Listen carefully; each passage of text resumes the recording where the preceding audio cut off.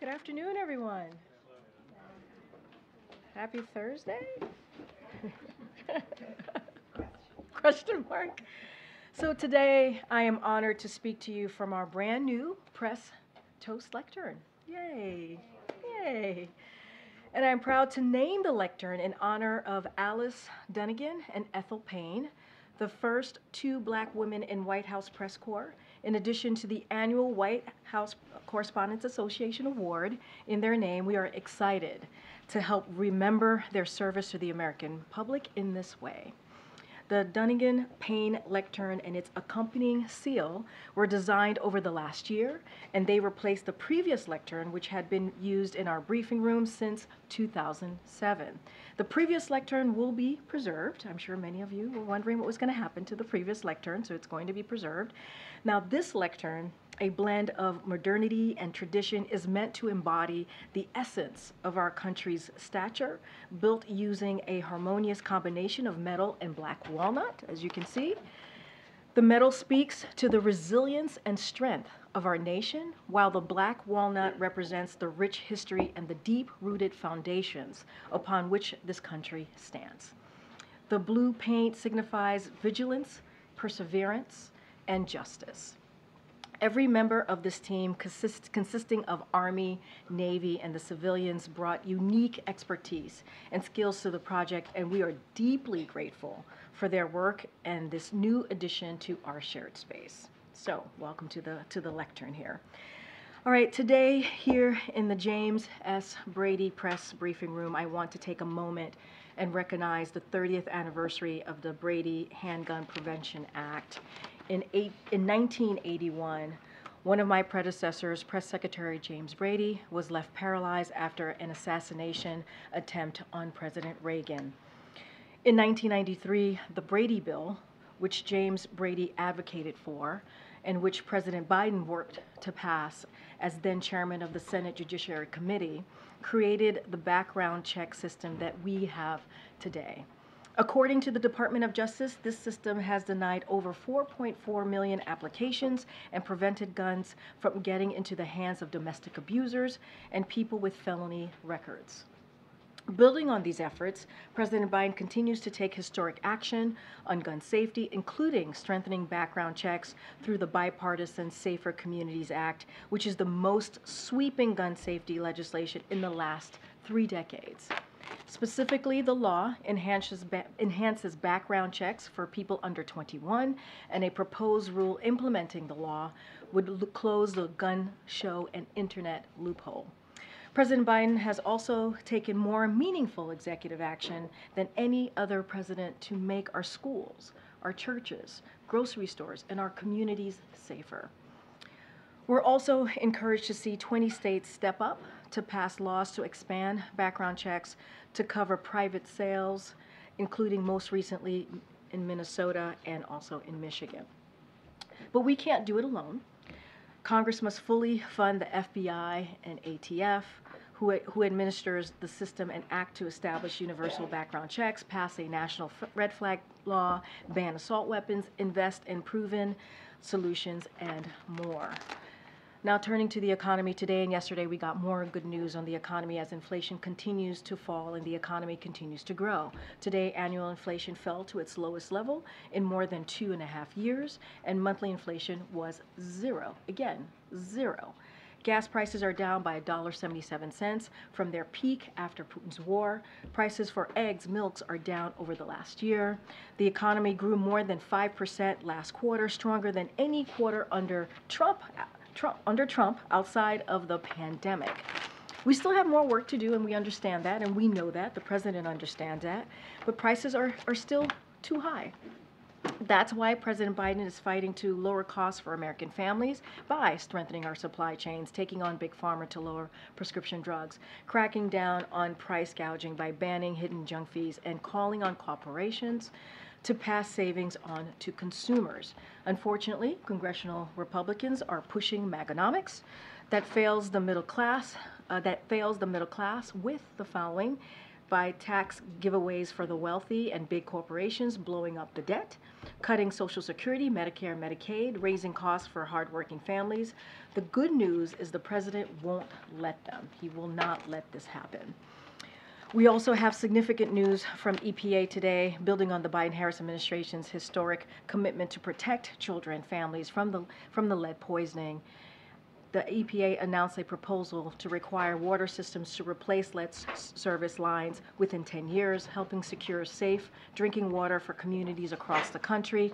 There is no safe level of exposure to lead, particularly for children, and eliminating lead exposure for, from the air, water, and homes is crucial component of our commitment to advancing environmental justice. Already, the president's bipartisan infrastructure law is investing more than $50 billion in the largest upgrade to the nation's water infrastructure in history. And the president is going to keep fighting to deliver safe, clean water to every community across the country. And lastly, thank you for your patience. I know it's been a lot. Uh, and lastly, tomorrow is World AIDS Day, which was established 35 years ago to commemorate those who have died due to AIDS related illnesses and honor the more than 40 million individuals with HIV around the world. This year also marks the 20th anniversary of the U.S. President's Emergency Plan for AIDS Relief, otherwise known as PEPFAR.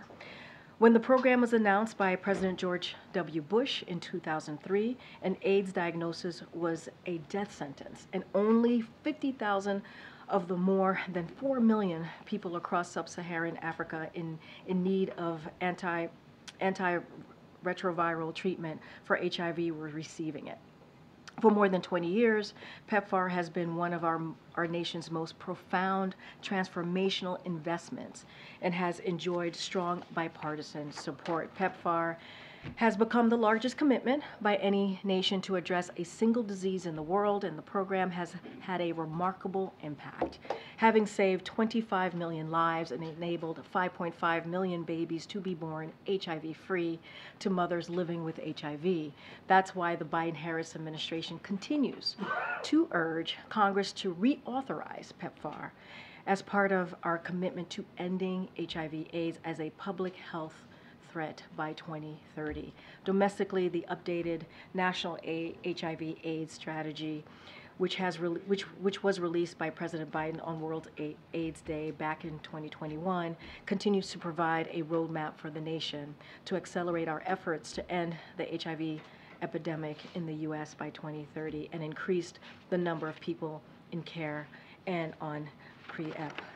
With this year's theme of, and I quote, remember and, and commit, end quote. We remember those we lost, we lost to AIDS-related illnesses, emphasize the urgency of our collective commitment to end the HIV epidemic, and recognize the courage and passion that has been essential, essential to the progress we have made so far. Thank you all for your patience. I know that was a lot. Uh, we have my colleague from NSC, Admiral John Kirby, here to give an update on all that is happening in the Middle East. John? Were you, were you, were you dozing off? Was I that long and boring? No, it was, it was I was like, you, you seemed, you seemed shocked. No, no. when I called you. It was gripping, gripping.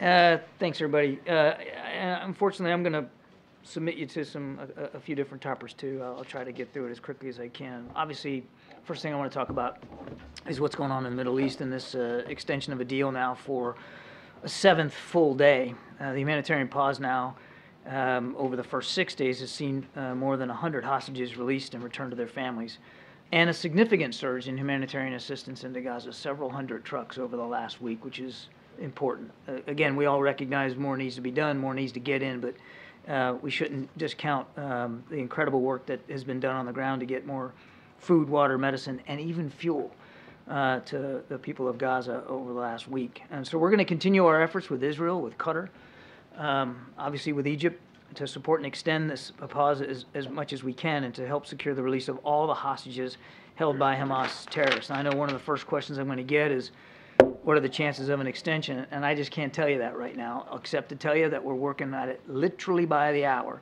to see if we can get this seventh day turned into an eighth and ninth and tenth and, and beyond. But But all, all I can do is tell you where we are right now, and we're glad that we got a seventh day out of this. Uh, the IDF, the Israeli Defense Forces, have noted that at, at, least at the time that I came out here, two hostages had uh, made their way back. Um, I don't know if there'll be more. We certainly hope there'll be more, but again, we're working on this by, by the hour. Um, and then I think we've all seen the terrible news coming out of Jerusalem, uh, a, a deadly shooting attack there where uh, at least three people were killed. Hamas has claimed credit. We obviously condemn this terrorist attack, this heinous violence. Just another example uh, of the kind of threat that the Israeli people and the Israeli nation are under by, by Hamas. So we certainly extend our condolences and thoughts and prayers to all those affected and the family members that are now grieving, additional family members that are now grieving. I want to switch, if I could, to Russia and Ukraine. Last winter, Russia sought to destroy Ukraine's critical inf- infrastructure, the energy infrastructure, and to deprive the Ukrainian people of access to heat and electricity at the coldest time of the year. Russia tried to break the will of the Ukrainian people, but of course it failed. As we head into yet another winter, we expect that Russia will return to this cruel tactic and again try to pursue a campaign to destroy Ukraine's critical energy infrastructure. In just the last couple of days, we've seen some airstrikes taken by the Russians uh, that seem to be going after the kind of defensive systems that the Ukrainians have in place to protect their uh, energy infrastructure. And again, over the weekend, they launched a major drone attack against Kiev and elsewhere. We view this as a strike of what's to, uh, sorry, a sign of what's to come. For many months, we've been working aggressively with our Ukrainian partners to prepare for this contingency. And as you will all recall, uh, it was a major topic of discussion when President Zelensky visited the White House last September. Uh, and ahead of this winter, President Biden and National Security Advisor Sullivan directed the United States government to prioritize these efforts, just as we did last year. So, we've been focused on driving forward three key lines of effort. First, we've been strengthening Ukraine's air defensive capabilities so that they can shoot down Russian, Russian missiles and their Iranian drones targeting critical infrastructure. That's why we provided Ukraine, even recently in recent packages now, with Patriot batteries, Hawk and Avenger air defense systems, counter unmanned uh, air systems equipment, and other critical air defense assets. Second, we've been helping Ukraine harden their critical energy infrastructure. We provided them with extensive amounts of defensive protection equipment, including wire mesh, rebar, and HESCO barriers to protect critical infrastructure. And our experts at DoD and at the Department of Energy and the U.S. Agency for International Development have all been advising Ukrainian officials on how to use this equipment most effectively. And third, we've been providing Ukraine with backup equipment and supplies, including high voltage auto transformers, industrial sized gas generators, and mobile off grid equipment to add resiliency and prevent people from losing heat and electricity if Russia's strikes get through and are successful. We're pursuing these lines of effort in coordination with our allies and our partners. The President has been leading a coalition of more than 50 countries to provide Ukraine with the security assistance it needs, including additional, as I said, Patriot batteries, SAMP-T systems, and hundreds of air defense missiles. Last winter, we stood up the G7 Plus Energy Coordination Group, which we continue to lead and convene on a regular basis. Through this forum and others, our allies and partners have provided Ukraine with energy equipment and backup supplies, as I said, including power generation equipment, transmission infrastructure, and, and further passive protection. This is no easy task, none of this.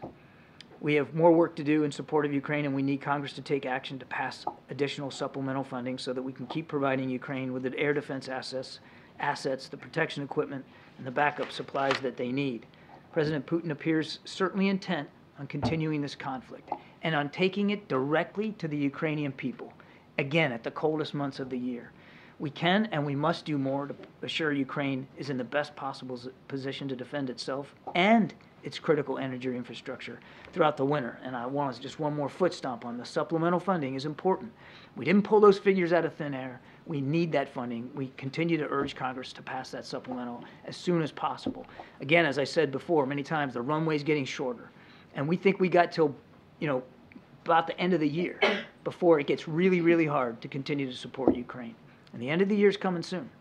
Now, just real quickly on Angola, As you know, President Biden is hosting President Lourenco of Angola later this afternoon. He's looking forward to this meeting very, very much. The U.S.-Angola relationship has flourished over the course of this year through frequent and productive senior-level engagements between our two countries, including in September when Secretary of Defense Lloyd Austin became the first ever sitting Secretary of Defense to visit Angola and to talk to them about mutual security opportunities, particularly in the maritime environment. President Biden looks forward to capping off a historic uh, year in this bilateral relationship by discussing all of the things uh, that we can do with President Lourenco to strengthen uh, our, uh, our cooperation and our relationship with Angola, not just in the security environment, but, but economically, diplomatically as well. They're a strategic partner and a growing global voice on issues of peace and security. We're particularly grateful to Angola for its very principled stand on the conflict in Ukraine and the role that President Lourenco is playing to advance solutions to conflicts elsewhere on the continent. Angola and the United States are expanding our economic cooperation at record speed, including pursuing additional investments through the President's flagship Partnership for Global Infrastructure and Investment to build quality, sustainable infrastructure that connects Angola to, uh, to global markets. And of course, we'll have a readout of that uh, uh, meeting when it's over. Thank you and appreciate your forbearance. Thank you, Admiral. So the U.S. administration has been clear that they've asked Israel to be more targeted in its military operations in southern Gaza, but Israel has vowed to resume this fighting with full force when Yeah. it starts again. So what has the president specifically told Netanyahu, and how much daylight is there between what the president wants and what Israel wants? So obviously, we continue to believe that Israel has the right and responsibility to go after Hamas. They have said, they have spoken for their military campaign, and they have said very clearly that, um, that when these pauses are over, they intend to go back at it. And as they make that decision, they'll continue to find support from the United States in terms of the tools and capabilities, the weapon systems that they need, as well as the advice and the perspectives that we can offer in terms of ur- urban warfare. Uh, no nation should have to stand for what Israel had to, had, to experience on, on the 7th of October. So I won't speak for their operations, and I'm certainly not going to get into private conversations that the president has had with the prime minister. Uh, but he has been clear publicly and certainly uh, in his discussions with the war cabinet uh, that they will continue to have uh, United States support as they go after these terrorists. And again, just look at what happened today in Jerusalem. I mean, if anybody's guessing and wondering whether Hamas still has murderous intentions against the Israeli people, just look at what happened in Jerusalem today. mentioned before that the U.S. believes there are two American women held. One has been released. So does that mean there is one American woman left being held? And what do we know about her conditions?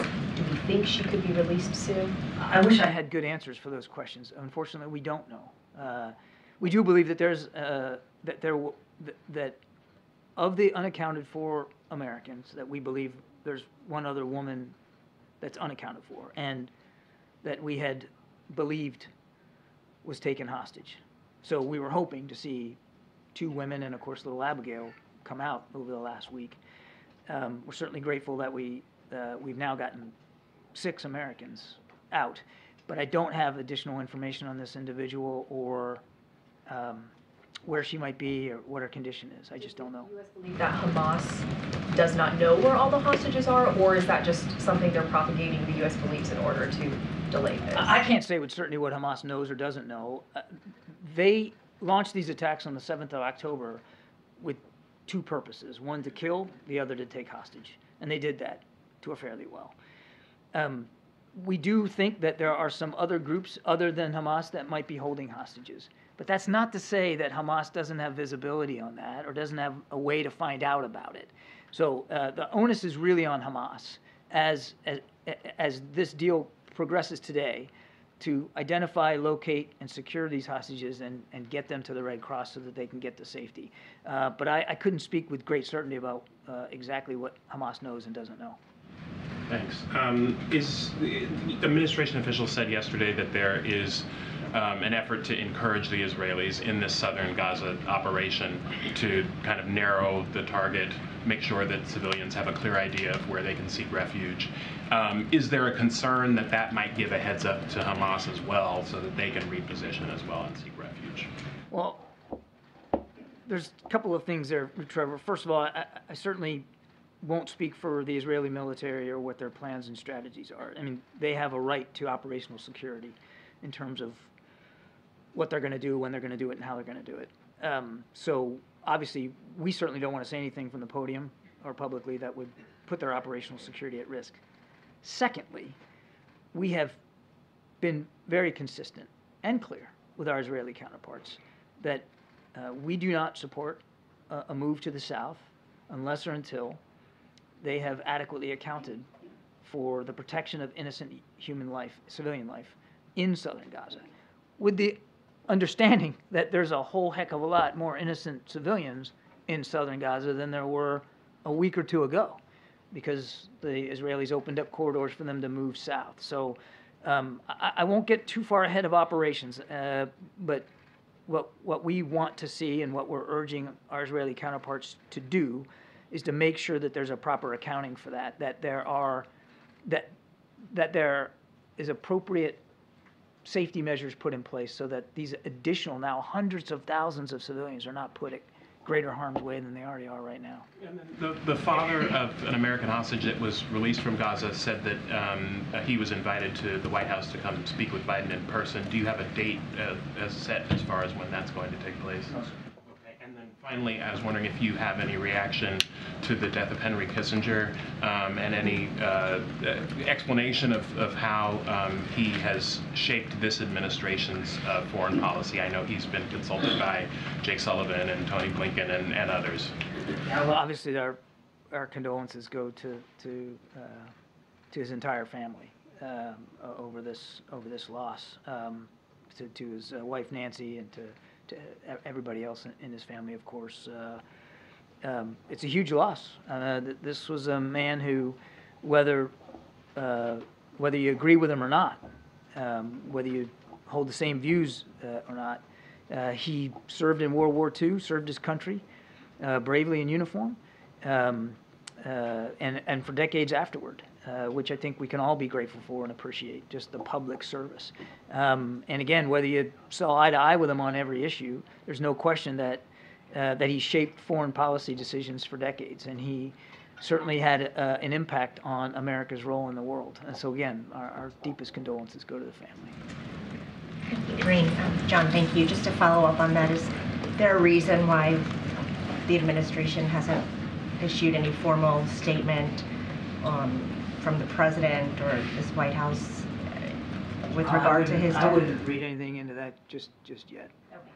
Um, And then on the president's comments about conditional aid to Israel, I wanted to follow up because he suggested that if conditions had been in place, the progress that we have seen so far might not have happened. So, of all the proposed conditions, can you explain how they would hinder efforts, whether it's you know, reducing the level of civilian casualties or um, making sure U.S. weapons are used within humanitarian law. How would any of the proposed conditions slow down or prevent the progress that has been made? Well, rather than speak to these proposed conditions, let me just take a step back and again reorient the discussion here. Israel was attacked on the 7th of October in the most heinous way. The president's been clear we're going to continue to support their uh, ability to eliminate that threat, the continued threat that Hamas still poses.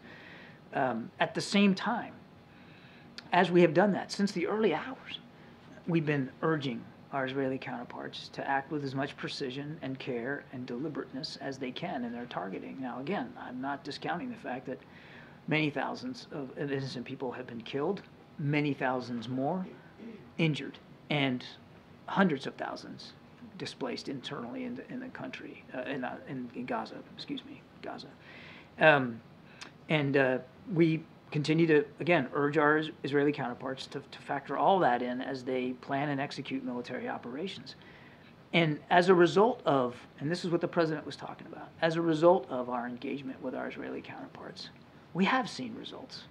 I- I mean, now a, a- week long pause. At the beginning of this, the idea of a pause was unthinkable uh, to our Israeli counterparts. But now a week long pause, 100 hostages out, hundreds of trucks of aid getting in. At, at, the, at the outset, the idea of humanitarian assistance getting in was not something that uh, was, uh, was warmly received as an idea. So the president believes that the approach that we've been taking has had results. Now, again, nobody's discounting or dismissing the loss of innocent life. And we continue to work with and share perspectives about urban warfare with our Israeli counterparts so that they can continue to hone their operations in such a way uh, that there's a, re- a reduction and a, minim- a minimizing uh, of uh, civilian death. But we're going to continue that approach. And John, I hear you. And I know that that's what the president has said repeatedly.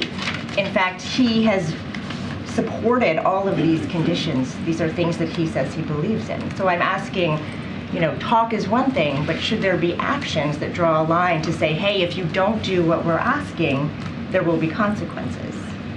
We believe that the approach that we're taking uh, thus far has produced effective results. Again, without discounting civilian deaths, and I don't mean to dismiss that at all. We, each one's a tragedy, and we mourn them all. Uh, but but we are the approach that we're taking thus far is having results, and it has it has actually had a practical effect uh, on the way our Israeli counterparts have prosecuted these operations. I mean, just look at, for instance, the the, the ground incursion into into Gaza. I mean, uh, without getting into too much detail, I tell you, we we shared with them our own experience in that kind of urban warfare in places like Fallujah and in places like Mosul. And we sent over military uh, advisors and experts to talk to them about some of those lessons learned. And I can tell you they were receptive to those lessons learned. And it did affect, again, I don't think I'm giving anything away for the Israeli military, but it did affect the way they ultimately chose to go into Gaza. So I, I would just say we're going to we're going to keep at that. So we're running out of time. I'm sorry, So I'm we gotta go really quickly, guy Chris, and we gotta go to the back too. Uh, what impact has the shooting uh, of the Hamas taking credit for in Jerusalem had on the efforts to extend the humanitarian pauses?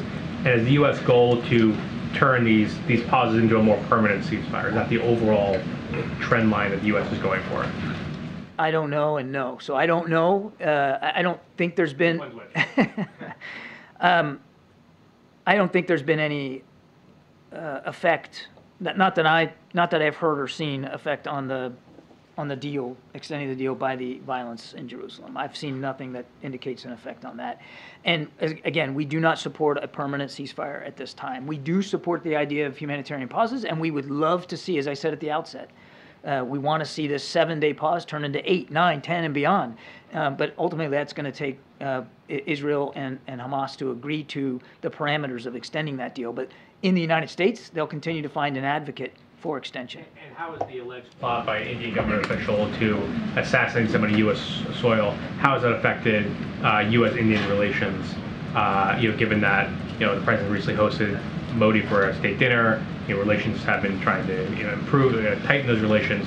What impact does that plot have? remind you, the state dinner happened before we knew about Sure, yeah, this, and I and I want to be careful here that I don't get uh, ahead of the Department of Justice and talk about an ongoing investigation. I would just say two things: Israel, uh, India remains a strategic partner, um, and we're going to continue to work to improve and uh, strengthen uh, that strategic partnership with India. At the same time, we take this very seriously.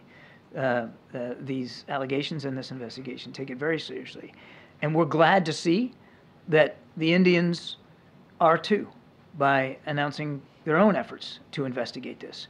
And we've been clear that we want to see anybody held, uh, anybody uh, that's responsible uh, for these alleged crimes to be held properly accountable. Thank you. Um, on Venezuela, I wanted to ask about today is the deadline that the administration set uh, for the Venezuelan government to make progress on certain uh, things. One of them, re, uh, lifting the public bans of uh, political opposition leaders who cannot run in elections, start the process to release wrongfully detained Americans.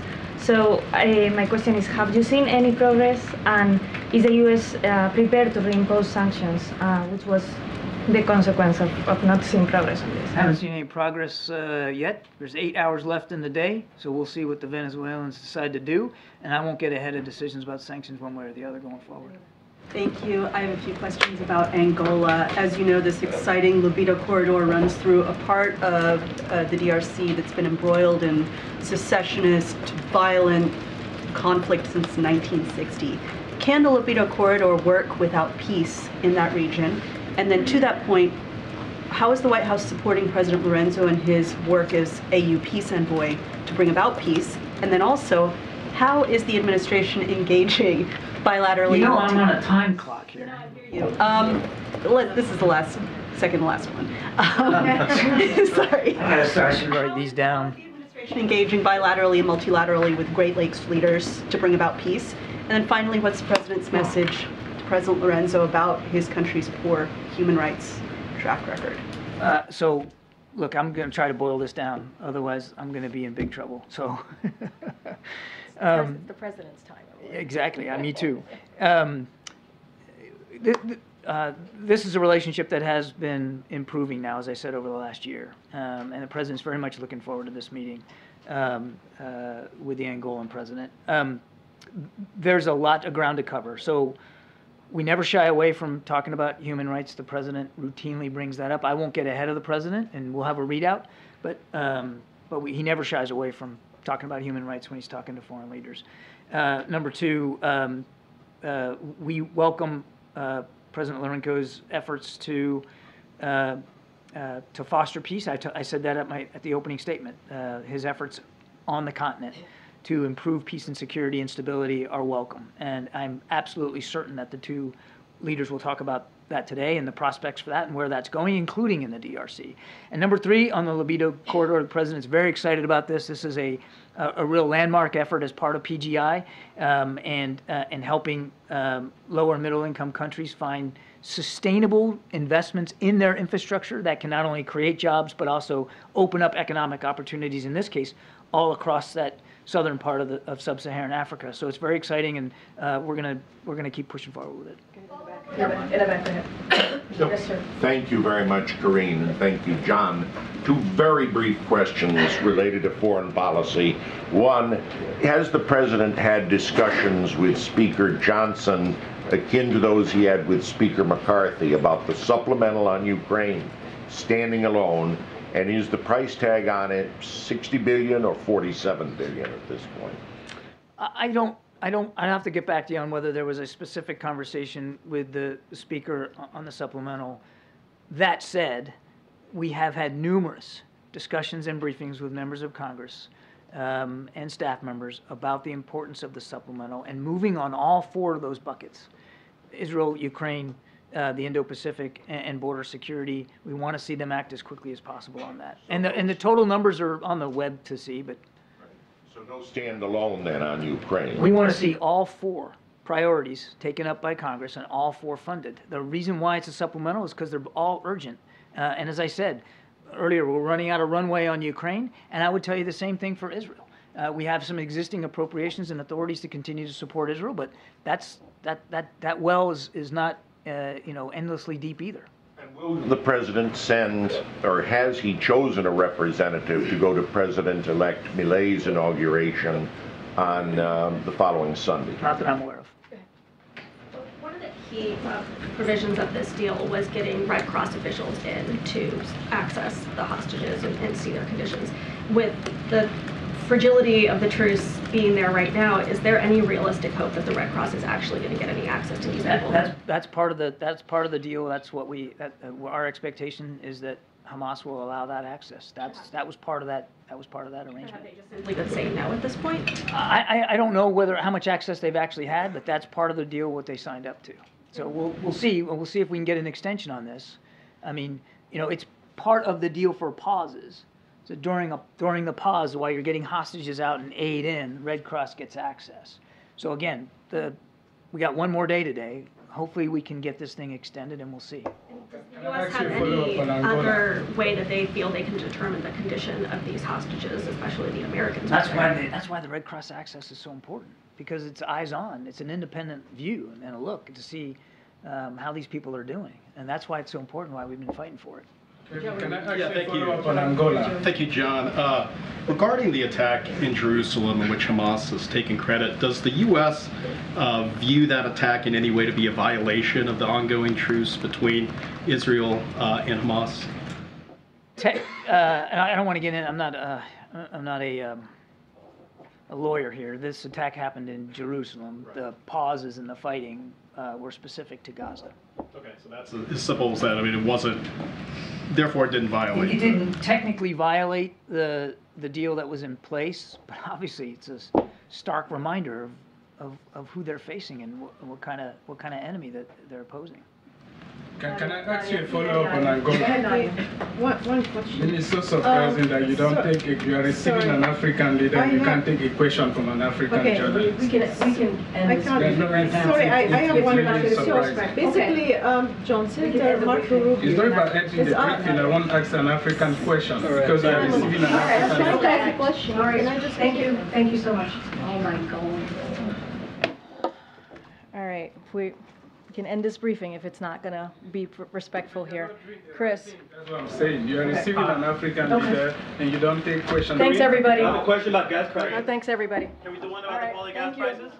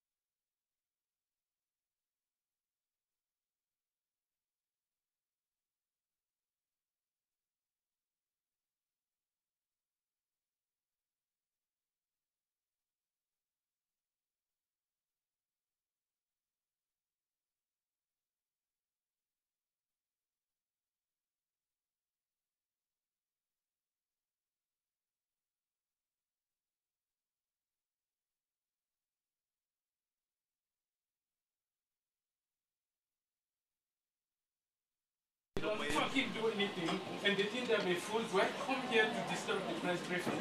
I just want to do my This job. is not the place for this, please. This is not the place for this. We are professionals. Please, everyone.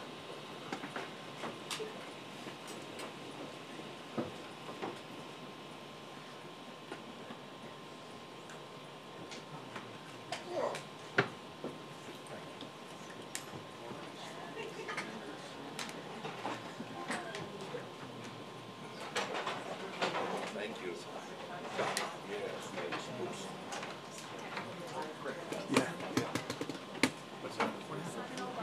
Uh, this dickhead who's interrupted the briefing multiple times and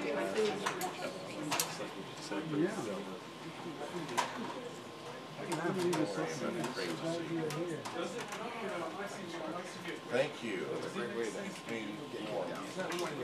Yeah, they don't really kick anybody out though. The last couple of days, I've left, and it's been cold. Right.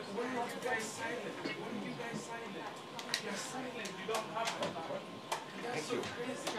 Ma'am. Yes. Right, yes. Right. Well, you know, Emily told me you'd be here. Oh, really? Yeah. like, sure, you know, really good. Thank you. Well, that's great. Glad to see everybody's face. Oh, At least Kirby's straight. Kind of. Take care, my friend. All right, go and do a lunch.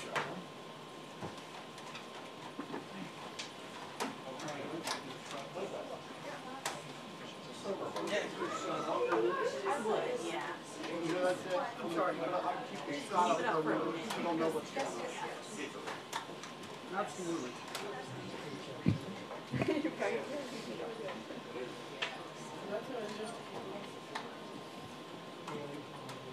Nah. I was rolling. I don't know if the issue was at Fox or not, but our producers were saying that your head-on and cuts were out of sync, signal-wise. They just told me I was gonna come out. Audio or the, I mean. Probably the video. They probably just aren't ti- the two cameras for whatever reason aren't aren't synced today.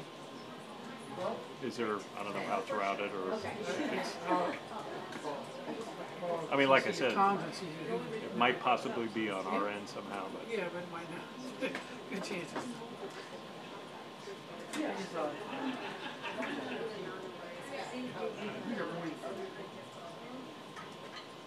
Yeah, uh, very good, that's it. Uh, we just had a, uh, pregnant person. And, uh, yeah.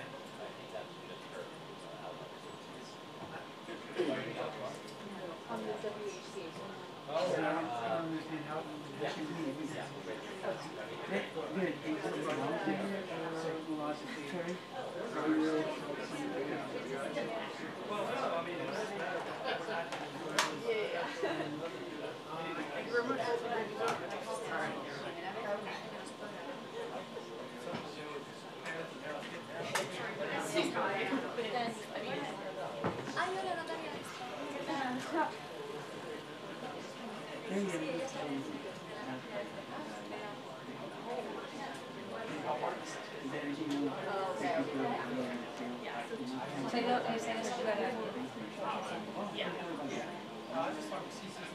don't understand how, that should. For my guidance, Okay.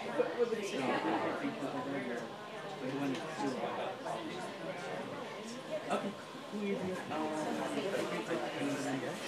Yeah. All right. Uh, no, she just ended the briefing. She basically said, gave him, you know. A warning, and then he, like, kept Two warnings, and then she said, all right, sorry, guys. I mean, it's the same shit pulled in the. I mean, I know it's touchy to try to pull something. Anybody else? Um, I mean, a bunch of people went straight to him at the end.